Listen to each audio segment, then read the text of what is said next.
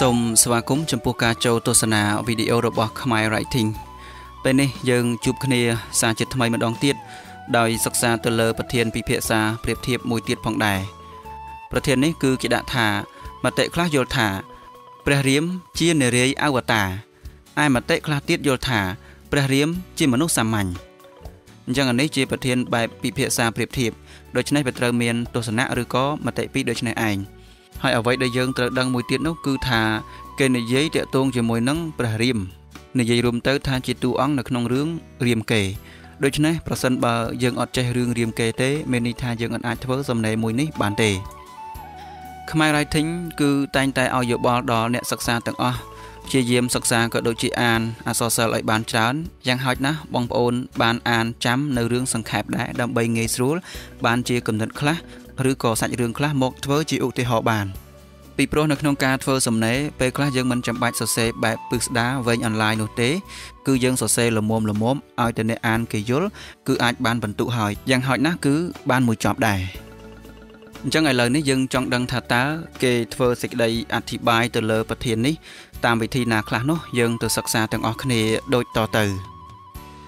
នេះយើងបានមកដល់ហើយមតិខ្លះយល់ថា ព្រះរាមជានារីអវតារឯមតិខ្លះទៀតយល់ថា ព្រះរាមជាមនុស្សសាមញ្ញតើអ្នកយល់យ៉ាងណា ចូលពិចារណាឲ្យបានសមស្របអញ្ចឹងយើងជួបពាក្យថាចូលពិចារណាទៀតហើយជាប្រធានបែបពិភាក្សាឲ្យឲ្យទៅថាចេញបែបនេះ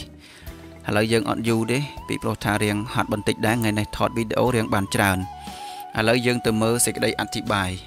ត្រង់ចំណុចសលេចនេះគឺជាសេចក្តីផ្ដើមដែលមាន3ផ្នែកលំនាំបញ្ហាចំណូលបញ្ហាហើយនិងចំណោទបញ្ហាយើងអានលំនាំបញ្ហាសិនរឿងរាមកេរ្តិ៍គឺជាស្នាដៃដ៏ល្បីល្បាញមួយរបស់ខ្មែរដែលជានិមិត្តកម្មឆ្នៃពីរឿងរាមាយណៈរបស់ឥណ្ឌារឿងរាមកេរ្តិ៍នេះបានคล้ายទៅជាអត្តសញ្ញាណរបស់ជាតិខ្មែរដោយដំណើររឿងបានចាក់ឫសចូលយ៉ាងជ្រៅនៅក្នុងសង្គមវប្បធម៌ខ្មែរហើយក៏បានឆ្លុះបញ្ចាំងនៅគ្រប់ទិដ្ឋភាព ទាំងទិដ្ឋភាពទេវនិយមនិងមនុស្សនិយមផងដែរអញ្ចឹងនេះគឺជា លំនាំបញ្ហា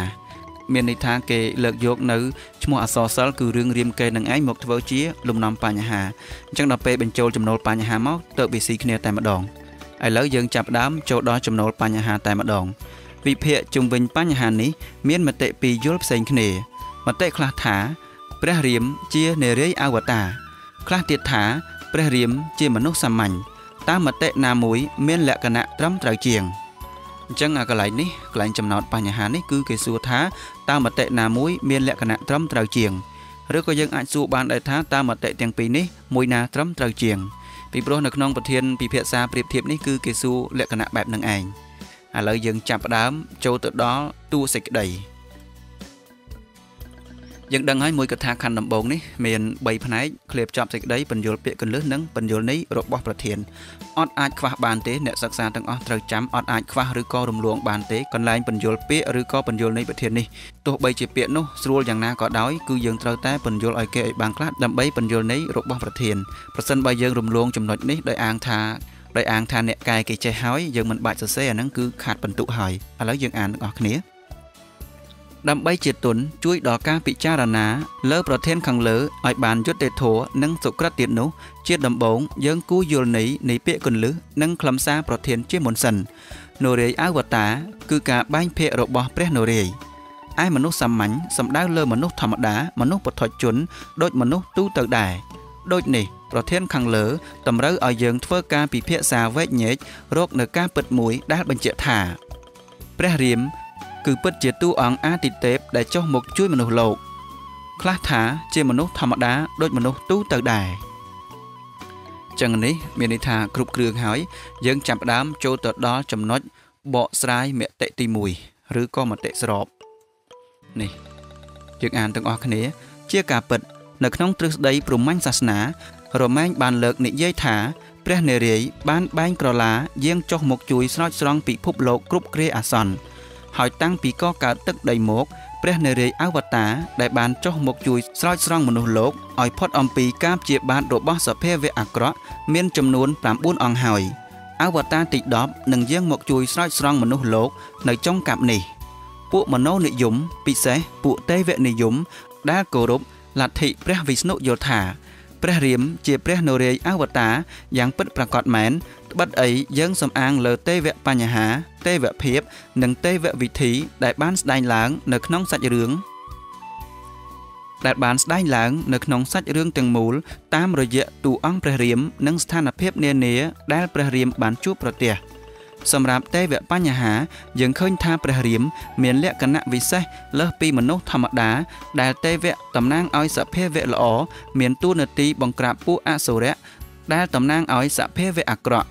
តួយ៉ាងដូចជាករណីការកណាសូ ដែលជាយៈកាលាជាក្អែកបានចូលទៅអុកឡុកហោមពិធីរបស់អេសីពីស្វាមិត្តហើយក៏ត្រូវព្រះរាម តាមរយៈសំណើរបស់អេសីពីស្វាមិត្តជាគ្រូបានជប់ធ្នូសិលថ្វាយផ្ចាញ់រហូត បាត់បង់ជីវិតទៅ ព្រះរាមបានបង្ក្រាបយៈរាមបរមសូរដែលចូលទៅអុកឡុកក្បួនយាងដំណើររបស់ព្រះបាទទសរថដែលត្រូវវិលត្រឡប់ទៅក្រុងអយុធ្យាវិញក៏ត្រូវព្រះរាមផ្ចាញ់ដោយធ្នូសស្លាប់បាត់បង់ជីវិតដែរ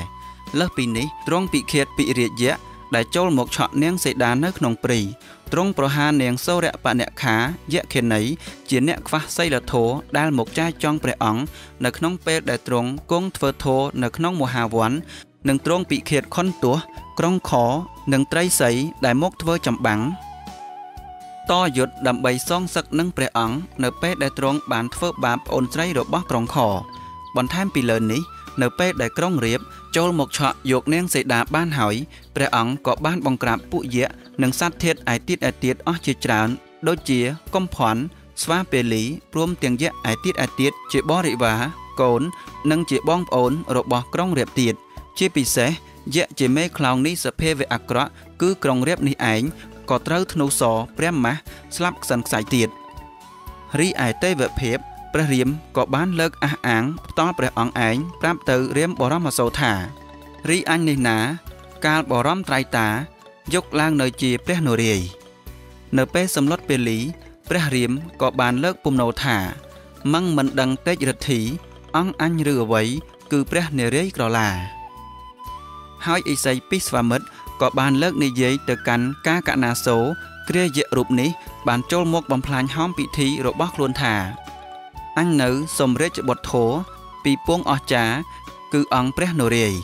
ម្យ៉ាងទៀតនៅពេលដែលឥសីពិស្វាមិត្តនាំព្រះរាមព្រះលក្សទៅនគរមិថិលាដើម្បីលើកធ្នូសរព្រះរាមបានសម្ដែងនៅរិទ្ធីដ៏ខ្លាំងក្លាលើសអស់បណ្ដាបេក្ខជននានាដែលមកពីភពទាំង3ដោយមានសេចក្តីបញ្ជាក់ថាព្រះរាមរឹងរិទ្ធមោហិមាស្ដែងស្ដេចចេស្តាធិកានុភាពលើសក្រៃ ស្ដេចលើកកៅតនសជីអស់ទេពមនុស្សឯដ៏មានកំឡុងលោកធាតុសឹងថ្វាយស័ព្ទសាធុការសាទរព្រះបរមនេតរិទ្ធីអំណាចយល់ថ្កើងស្ដេចវត្តកៅតន3ជុំឡើងកោះសស័កថ្កើងសំដែងនៅទេជៈប្រធ្យៈស្ដេចក្រោយកៅតនសស័ករូបមណ្ឌលចៈរំភេយព្រះកសោភាយើងទៅមើលបន្តទៀត ជាងនេះទៅទៀតនៅក្នុងដំណើររឿងក៏បានលើកបង្ហាញយ៉ាងជាក់ច្បាស់ផងដែរដូចនៅក្នុងខ្សែទី2នៃរឿងរាមកេរ្តិ៍បានបង្ហាញនៅបាតុភូតដ៏អស្ចារ្យគ្រាដែលព្រះរាមនិងព្រះលក្សណ៍ហើយនាងសីតាបានយាងទៅភ្នំចិត្រកោតនៅតាមផ្លូវធម្មជាតិទាំងមូលហាក់ប្រែប្រួលពីក្រៀមស្រពោនទៅជាស្រស់បំព្រងពីអាក្រក់ទៅល្អពីអមិត្តទៅជាមិត្តជាដើម។ ដោយដែលសាច់រឿងបានសម្ដែងថាអស់ថ្មព្រីស្វែងមរឹកគាសោតសឹងប្រាជា មេតាអាសូរសัตว์ផងរីសัตว์មរឹកយងខ្នងសឹងជាសត្រូវផង បំបត្តិជីវិតគ្នាមិញសឹងប្រែចិត្តជាសម្លាញ់ស្នាស្នេហ៍ស្និទ្ធវិញ ដោយភាសាសัตว์មេត្រីកជាបុត្របើមេរាជសីកជារាជហត្ថីបំបើបុត្ររាជសីភ្ងាយើងទៅមើលខាងក្រោមទៀតអំណះអំណាងទាំងអស់នេះហើយ ដែលជាចំណុចបញ្ជាក់ឲ្យឃើញនៅទេវភាពរបស់ព្រះរាម ដែលជានរេយអវតាររីឯទេវវិធីវិញគ្មានមនុស្សសត្វឬទេវៈទាំងឡាយណាអាចយកឈ្នះលើព្រះអង្គបានទេត្បិតអីព្រះរាម គឺជាបុគ្គលដ៏ខ្ពង់ខ្ពស់ជាវិស្ណុអវតារដែលមានឫទ្ធិបារមីលើរាល់សភាវៈអាក្រក់ទាំងអស់ក៏ដូចជាមនុស្សសត្វទេវៈដតីទៀតរមែងតែងខ្លាចនៅឫទ្ធិអំណាចរបស់ព្រះអង្គតាមរយៈធ្នូសរ ដ៏មានឫទ្ធិបារមី អាចរំលែងឋានទាំង3បាននេះជាដើមអញ្ចឹងអានេះគ្រាន់តែជាការអធិប្បាយទៅលើមតិទី1ឬក៏ទស្សនៈទី1យើងមើលសរុបសេចក្តីសរុបសេចក្តីនេះគឺសរុបទៅលើអ្វីដែលយើងបានអធិប្បាយរួចមកហើយអំបញ្ញមិញនេះសរុបសេចក្តីមក ទាំងទេវៈបញ្ហា ដែលទេវៈត្រូវបង្ក្រាបសភាវៈអាក្រក់ទាំងទេវភាពដែលជាភាពអច្ឆរិយៈលើសពីការពិតជាក់ស្ដែង និងទាំងទេវវិធី ដែលអនុវត្តយុទ្ធវិធីសិលវិធី បញ្ជាក់ថាព្រះរាមជាវិស្ណុបាញ់ភៈប្រកបមែនព្រះរាមជាទូអង្គដែលមានលក្ខណៈវិមលពលគឺទូអង្គដែលប្រះចាកនៅកំហុសនិងបាបកម្មនានាលើសពីនេះទៅទៀតព្រះរាមមានតួនាទីវិនិច្ឆ័យប្រឡាយៈជាសភាវៈអាក្រក់ដោយមហិទ្ធិឫទ្ធិក្នុងឋានៈជាទេវៈវិនិច្ឆ័យបុគ្គល អញ្ចឹងត្រង់ចំណុចសរុបសេចក្តីនេះគឺសរុបទៅលើអ្វីដែលយើងបានបកស្រាយនៅក្នុងមតិទី1នោះឥឡូវនេះចាប់ផ្ដើមចូលទៅដល់ការបកស្រាយមតិទី2ដែលនិយាយអំពីថាព្រះរាមគឺជាមនុស្សធម្មតាឬក៏មនុស្សសាមញ្ញយើងអានទាំងអស់គ្នាតែម្ដងទៅផ្ទុយទៅវិញពួកវិចារណនិយមដែលជាខ្មែរនិយមយល់ថាព្រះរាមគ្រាន់តែជាមនុស្សធម្មតាប៉ុណ្ណោះ ព្រោះតែយើងសំអាងលើមនុស្សបញ្ហា មនុស្សភាព និងមនុស្សវិធី ដែលបានស្ដែងចេញតាមតួអង្គព្រះរាម និងស្ថានភាពដែលព្រះរាមបានឆ្លងកាត់ ចំពោះមនុស្សបញ្ហា យើងសង្កេតឃើញថា បានកើតច្រើនណាស់ដូចជា បញ្ហាគេមរតករាជសម្បត្តិរវាងនាងកៃកេសីជាមួយនឹងព្រះរាម បញ្ហាស្នេហារបស់មនុស្សលោក ដែលជាច្បាប់ធម្មជាតិនិងបញ្ហាលោកយៈសច្ចៈដែលបានបន្ទាបបន្ថោកទេវភាពរបស់ព្រះរាម បញ្ហាទំនាស់រឿងរាជសម្បត្តិនេះទោះបីជាព្រះរាមបានសម្រេចប្រតិចោះចាញ់នាងកៃកេសីដោយព្រមយាងទៅបួសនៅក្នុងព្រៃរយៈពេល14ឆ្នាំក្តី តែនេះគឺជាការបង្ហាញឲ្យឃើញនៅទំនាស់វិបត្តិរាជវង្សមួយដ៏ស្រួចស្រាលផងដែរតួយ៉ាងដូចដែលព្រះរាមបានលើកប្រៀបធៀបមេម៉ាយូរី ដែលប៉មម៉ែឈើឲ្យកូនស៊ីទៅនឹងនាងកៃកេសីជាដើមរីឯបញ្ហាស្នេហាវិញ ក៏មានលក្ខណៈជាសេចក្តីស្នេហារបស់មនុស្សដែលជាច្បាប់ធម្មជាតិផងដែរត្បិតអីសេចក្តីស្នេហានេះបង្កើតឲ្យមានការព្រួយបារម្ភចំនួនតោះតែងគ្នា លើបញ្ហាអ្វីមួយក្នុងរង្វង់នៃសេចក្តីស្រឡាញ់អញ្ចឹងនេះគឺគេកំពុងតែអធិប្បាយដើម្បីបង្ហាញឲ្យឃើញថាព្រះរាមនឹងឯងគឺជាមនុស្សធម្មតាឥឡូវយើងទៅមើលបន្តទៀតជាក់ស្ដែងក្រោយពេលដែលនាងសីតាត្រូវបាត់ខ្លួន ព្រះរាមរមែងចេញដើរស្វែងរកមហេសីគ្រប់ទីកន្លែងដោយក្តីបារម្ភលុះបានដឹងថាត្រូវក្រុងរាពណ៍ជាស្ដេចយក្សក្រុងលង្កាចាប់ខ្លួនទៅក៏ព្យាយាមកតបនឹងរោគជំនួយគ្រប់ទិសទីឲ្យមកជួយច្បាំងដណ្ដើមយកនាងសីតាមកវិញក្រោយមកទៀតពេលដែលនាងសីតាបានមកស្ថិតនៅក្នុងរង្វង់គ្រួសារខ្លួនវិញហើយ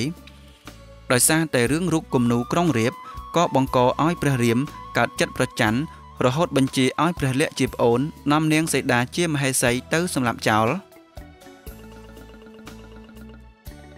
ទៅសម្លាប់ចោលទៀតដោយមិនជំនុំរោគយុត្តិធម៌អ្វីសោះឡើយចំណែកឯបញ្ហាលោកយៈសច្ចៈដែលបន្ទាបបន្ថោកទេវៈរបស់ព្រះរាមវិញក៏មានស្ដែងយ៉ាងច្រើននៅក្នុងសាច់រឿងចាប់ពីខ្សែទី4តទៅ មួយវិញទៀតចំពោះមនុស្សភាពវិញក៏យើងសង្កេតឃើញ មានយ៉ាងពោពេញលើតួអង្គព្រះរាម នៅសភាពជាមនុស្សដែលចេះខឹងចេះស្អប់ចេះសងសឹកចេះប្រច័ណ្ឌនិងលក្ខណៈចាញ់ឈ្នះនៅក្នុងសង្គ្រាមជាមួយក្រុងលង្កាជាដើមព្រះរាមចេះខឹងចេះស្អប់ដូចមនុស្សធម្មតាទូទៅ ដូចជាចេះខឹងការកណាសូដែលបានចូលមកបំផ្លាញហោមពិធីរបស់អេសីពីស្វាមិត្តដែលជាគ្រូរបស់ព្រះអង្គ ឬដូចគ្រាការដែលនាងសូរៈបនខាចូលទៅអុកឡុកសុំសេចក្តីស្នេហាពីព្រះអង្គនាពេលទ្រង់ធោក៏នាំឲ្យព្រះអង្គកាត់ព្រះទីខឹងសម្បាជាមួយនាងយក្ខិនីនេះរហូតបណ្ដាលឲ្យព្រះលក្សណ៍ធ្វើទរណកម្មយ៉ាងព្រីផ្សៃលើនាងថែមទៀតព្រះរាមចេះកើតទុកនៅពេលដែលរៀបបានឆក់យកនាងសេដាទៅបាត់ព្រះរាមចេះកើតចិត្តសងសឹកជាមួយក្រុងរាពណ៍ដែលបានឆក់យកនាងសេដាជាព្រះមហេសីរបស់ខ្លួនទៅ រហូតដល់ទ្រង់ក៏ជាតបលើកគ្នាទៅច្បាំងជាមួយក្រុមយក្សនៃក្រុងលង្កាស្លាប់ច្រើនសន្ធឹកសន្ធាប់ទៀតអញ្ចឹងនេះគឺកំពុងតែអធិប្បាយដើម្បីឲ្យឃើញថាព្រះរាមនឹងឯងគឺជា មនុស្សសាមញ្ញឬក៏មនុស្សធម្មតាបន្តទៀតព្រះរាមចេះកើតចិត្តប្រច័ណ្ឌមហេសីដូចមនុស្សធម្មតាទូទៅដែរ ដោយគ្រាន់តែឃើញរូបក្រុងរាពណ៍នៅលើក្តារឈ្នួនដែលគូសដោយនាងសេតាក៏កើតចិត្តខឹងប្រច័ណ្ឌលើរូបនាងសេតាជាមហេសីជាមួយក្រុងយៈទស្សមុខដោយកំរោលតែម្ដង ជាមួយគ្នានេះផងដែររាល់ពេលចេញច្បាំងជាមួយក្រុងលង្កា ខាងតបព្រះរាមរមែងតែមានឈ្នះជួនមានចាញ់ខាងតបក្រុងរាពណ៍ដែរ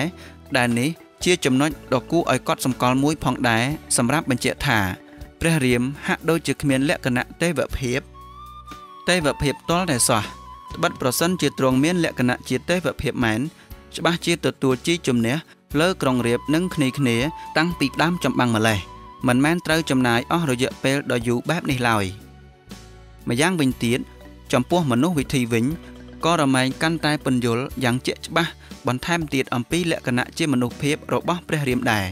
ដោយព្រះរាមដោះស្រាយបញ្ហាចោតនានាតាមបែបមនុស្សធម្មតាដោយមិនមានលក្ខណៈជាការដោះស្រាយតាមបែបទេវភាពតលតែសោះ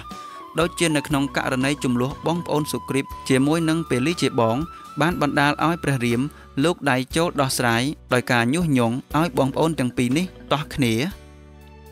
ដោយការញុះញង់ឲ្យបងប្អូនទាំងពីរនេះតោះគ្នាដោយព្រះរាមចេញមុខលបបាញ់ពេលីដើម្បីបញ្ចប់ចំនួននេះលើសពីនេះ នៅក្នុងការធ្វើសង្គ្រាមនេះព្រះរាមបានខិតខំកើនកម្លាំងតបដើម្បីជួយច្បាំងជាមួយក្រុងលង្កាយ៉ាងខ្លាំងក្លា ដែលនេះគឺជាសកម្មភាពរបស់មនុស្សសុទ្ធសាធតែម្ដង តែប្រសិនជាព្រះអង្គពិតជាមានលក្ខណៈជាទេវភាពមែនច្បាស់ជាមិនចាំបាច់ត្រូវការជំនួយកងទ័ពយ៉ាងច្រើនសន្ធឹកសន្ធាប់បែបនេះឡើយ។មួយវិញទៀត ព្រះរាមក៏តែងប្រើវិធីសងសឹកដើម្បីរំងាប់អារម្មណ៍របស់ព្រះអង្គនិងក្រុមញាតិផងដែរដូចជាការសម្លាប់ការកណាសូដែលតែងមករំខានហោមពិធីរបស់ឥសីពិស្វាមិត្រនិងការសម្លាប់ក្រុងរាពណ៍ដែលបានឆក់យកនាងសីតាចេញពីព្រះអង្គធ្វើឲ្យទ្រង់ក្រំគ្រាចិត្តអស់រយៈពេលជាច្រើនឆ្នាំជាដើមក្រៅពីនេះយើងក៏សង្កេតឃើញថាព្រះអង្គក៏ចេះប្រើល្បិចបញ្ឆោតលើអ្នកដតីដើម្បីបានមកវិញនៅជីជំនះផងដែរ។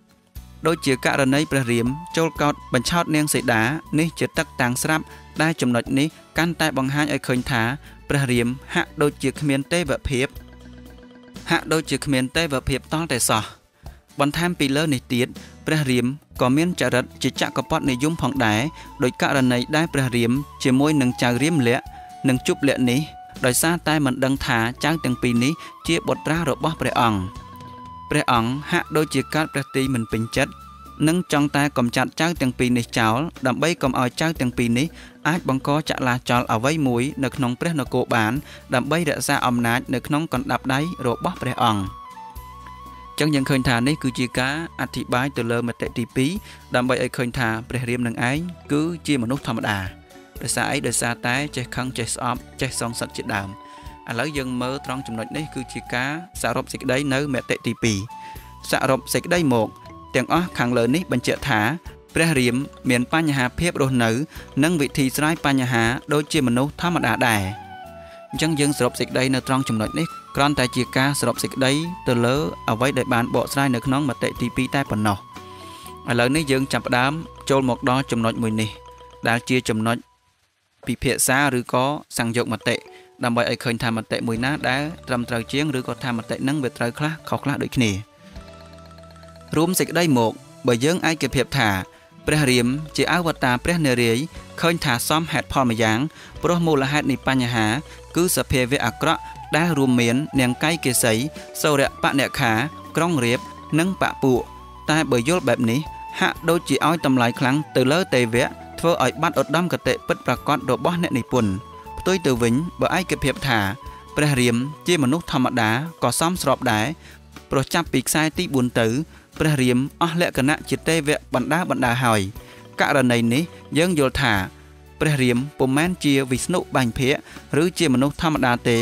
តែជាមនុស្សធន់អន់ថែមទៀតពិសេសចាប់ពីខ្សែទី75ដល់ខ្សែទី80ព្រះរាមអន់ជាងមនុស្សធម្មតាទៅទៀតដូចជាក្នុងករណីចូលកោតបញ្ឆោតនាងសីតា និងការរោគរឿងសម្រាប់រៀមលក្ខជប់លក្ខដែលជាកូនខ្លួនឯងជាដើមចុងបញ្ចប់នាងសីតានៅតែពំរមលើកលែងទោសឲ្យព្រះរាមដដែលនេះសបញ្ជាក់ឲ្យឃើញថាអ្នកនិពន្ធចង់បង្អាប់ព្រះរាមដែលដំបូងមានលក្ខណៈជាទេវៈបន្ទាប់មកជាមនុស្សធម្មតានិងចុងបញ្ចប់ជាមនុស្សធន់អន់អញ្ចឹងត្រង់ចំណុចនេះ គេកំពុងតែពិភាក្សាឲ្យយើងឃើញថា គេនឹងឯងគឺកំពុងតែមានការគ្រប់គ្រងទៅលើមតិទី2ឥឥឡូវនេះយើងចាប់ផ្ដើមចូលទៅមើលការសម្រេចសេចក្តីថាតើគេឲ្យទៅមតិមួយណាដែលត្រឹមត្រូវអញ្ចឹងនៅក្នុងចំណុចនេះ គឺជាការបញ្ចប់សេចក្តីហើយហើយមានពីរផ្នែកមានការវេតម្លៃប្រធាននិងការបញ្ចេញនៅទស្សនៈផ្ទាល់ខ្លួនយើងអានទាំងអស់គ្នាឆ្លងតាមការពិចារណាខាងលើរួចមក យើងអាចវេតម្លៃជាចុងក្រោយបានថាមតិដែលយល់ថា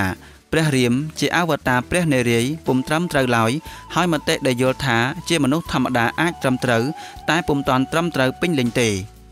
ព្រោះឧត្តមកតិអ្នកនិពន្ធគឺបង្អាប់ទេវៈពោលគឺចង់ធ្វើឲ្យរាមាយណៈឥណ្ឌាคล้ายមកជារាមកេរខ្មែរតាមបែបនិមិត្តកម្មវិញដូចនេះយើងជាមនុស្សចំនួនក្រោយបើសិក្សាលើបញ្ហាអ្វីមួយត្រូវវិភាគឲ្យបានទីជម្រៅ កុំវេតម្លៃតែលើរូបរាងខាងក្រៅឬខ្លឹមសារសើសើរទៅអាចវេតម្លៃបញ្ហាបានត្រឹមត្រូវនិងម្យ៉ាងទៀតនិងម្យ៉ាងទៀតត្រូវចេះច្នៃប្រឌិតកិច្ចការផងទាំងពួងទោះយកពីគេក្តីក៏ពុំគួរក៏ពុំគួរចម្លងពីគេទាំងដល់ដែរអញ្ចឹងមកដល់ចំណុចចុងក្រោយនេះគឺគេឲ្យតម្លៃទៅលើមតិទី2ជាងត្រង់ថាព្រះរាមនឹងឯងជាមនុស្សធម្មតាហើយជាមនុស្សធន់អន់ថែមទៀតផង ហើយសូមអធិស្ឋានផងនៅក្នុងការអធិប្បាយនៅសំណេរមួយនេះដោយសារតែកំពុងអធិប្បាយនៅខាងក្រៅមានភ្លៀងហើយខ្មែរ writing ខ្លាចអន្ទះបាញ់អញ្ចឹងក៏អានរៀងញាប់បន្តិចទៅសូមអធិស្ឋានដូច្នេះយើងឃើញថាប្រធានពិភាក្សាប្រៀបធៀបមួយនេះអធិប្បាយនឹងបានវែងផងដែរហើយសង្ឃឹមថាបងប្អូនអ្នកសិក្សានឹងទទួលបានចំណេះដឹងអំពីវីដេអូក៏ដូចជាសំណេរមួយនេះប្រសិនបើមានការខុសឆ្គងសូមខន្តីអធិស្ឋាន អញ្ចឹងវីដេអូនេះក៏សូមដល់ទីបញ្ចប់ហើយដោយសារតែមានភ្លៀងផងខ្លាចអន្ទះបាញ់អញ្ចឹងសូមអរប្រគុណនិងអរគុណណាស់សម្រាប់ការទស្សនាជួបគ្នានៅវីដេអូក្រោយជាបន្តទៀត